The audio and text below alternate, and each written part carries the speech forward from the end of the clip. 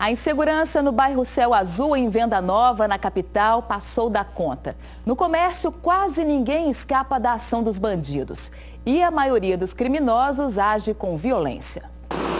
A qualquer hora do dia, em qualquer rua do bairro, quem já não foi conhece alguém vítima da criminalidade, principalmente dos assaltos. A gente está no ponto de ônibus, não tem horário, é de dia, de noite, na porta de casa. Eles chegam, metem o revólver na gente. Não tem horário, 6 da manhã, 14 horas. A insegurança é muito grande. Foi dentro da minha empresa que, que eles chegaram, meteram o revólver em nós, levaram é, é, é, é dinheiro, computador, celular. A única saída para ele foi fechar o comércio. Não dava mais. Tá tão danado que desistimos. Paramos, paramos.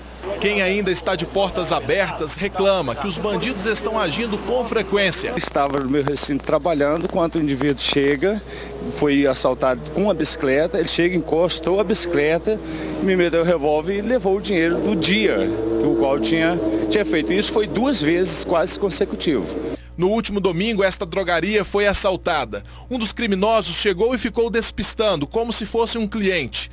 O outro já chegou apontando a arma. Ele rendeu clientes e funcionários. Alguns ficaram sentados no chão, enquanto os ladrões enchiam a mochila. Esta funcionária levou uma coronhada. Esta outra, grávida de cinco meses, acompanhou tudo, agachada, atrás do balcão, até que os assaltantes recolheram tudo do caixa e foram embora. O medo foi muito grande, né? Aí eu pensava no meu filho e a cliente estava com o neném no colo e a filha dela que estava também. E o comerciante foi vítima de mais dois crimes somente nos últimos 20 dias. Ele teve um carro tomado de assalto nesta mesma região e uma outra drogaria que também funciona aqui no bairro foi arrombada durante a madrugada. A gente fica assim, receoso pela própria vida. Tanta coisa acontecendo ao redor.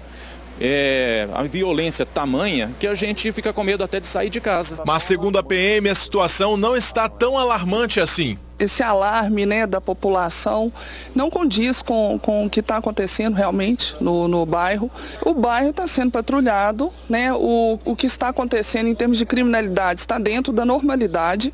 Né? Acontece que qualquer pessoa que é vítima, ela não, é, não fica satisfeita de estar sendo vítima naquele momento. Mas, quando a gente olha o contexto global, né, o bairro está sob controle, não tem uma estatística alarmante, conforme algumas pessoas têm relatado.